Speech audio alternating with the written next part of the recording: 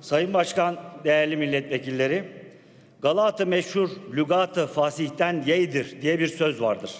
Size Galatı meşhurdan konuşacağım. Gerçekten maşallahınız var. Memleketin tüm dertlerini çözdünüz.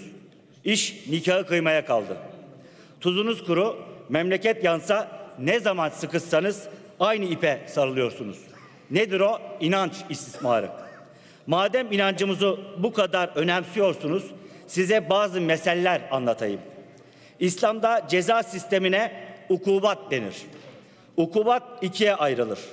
Allah tarafından belirlenen suç ve cezalara had cezası, suçu Cenab-ı Allah, cezası ise idareciler tarafından belirlemeye tazir denir. Kur'an'da meşhur had cezalarında ayet şöyle der. Yaptıklarına bir karşılık ve Allah'tan caydırıcı bir müeyyide olmak üzere hırsız erkek ile hırsız kadının ellerini kesin. Allah mutlak güç sahibidir, hüküm ve hikmet sahibidir. Maide suresi ayet 38. Burada ellerin kesilmesi mecazidir. Cezalandırın anlamındadır. Ellerin kesilmesi değildir.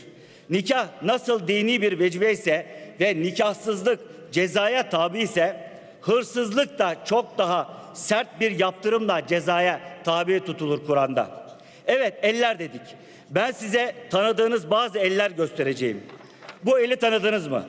Sizin can yoldaşınız, milletin anasına söven, vergilerini sıfırladığınız, kamu hakkını gasp ettirdiğiniz, havuzlar kurdurduğunuz bir zat-ı muhterem. Evet, Mehmet Cengiz. Gelin başka bir el daha göstereyim size. Bu eli tanıdınız mı? Yine can yoldaşınız, çikolata kutularıyla rüşvet taşınan bir muhterem. Kim o? Egemen Bağış. Bir el daha göstereyim size. Ayakkabı kutularında kamu hakkı, yetim hakkı var bu zatın. Eli masum hakkıyla kirlenmiş bir şahıs. Evet, hepiniz tanırsınız. Süleyman Aslan. Reza Zarrab'ın elinin olduğu bir resim bulamadım. Keza hırsızın ustası ellerini gizlermiş. Şimdi ben size alın satırı elleri kesin demiyorum. Kur'an da demiyor. As olan eli kesmek değil, cezalandırmaktır. Allah ısrarla cezalandırın diyor. Siz ne yaptınız? Cezalandırmadınız. Aksine paraları faiziyle iade ettiniz onlara. Mesele nikah olunca dini bütünsünüz. Mesele hırsızlık olunca dinimizin vecibelerini unutuyorsunuz.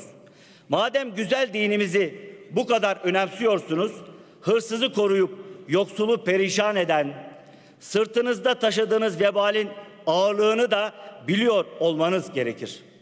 Bunca zamandır evlenen insanlar İslami usule aykırı evlilik yapmadılar. Gittiler imam nikahı oldular, akabinde devlette onaylattılar. Nikahta esas olan beyan ve ilandır.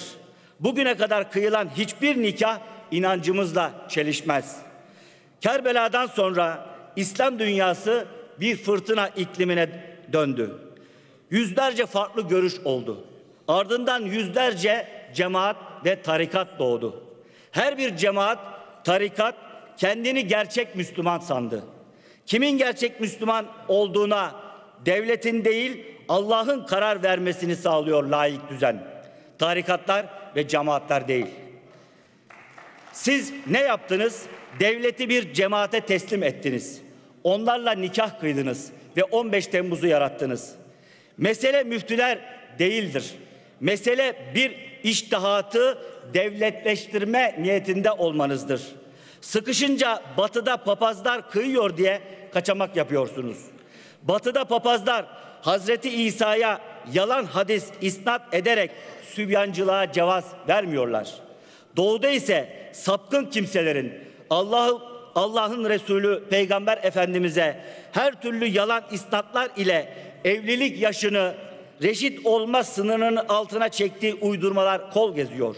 İşte bu durum yüzyıllarca İslam'ı yalan yanlış kendine göre yorumlayanların yüzünden oldu. Bu gruplar İslam'ı yalanlarla şekillendi. Siz de bu yolda olmayın. İslam'ı bu şekilde yorumlamayalım.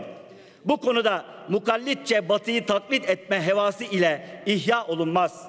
İlla ki İslami ve insani bir iş yapacaksanız Allah'ın emret, emrettiği gibi hırsızları cezalandırın ve ülkeye refah sokun.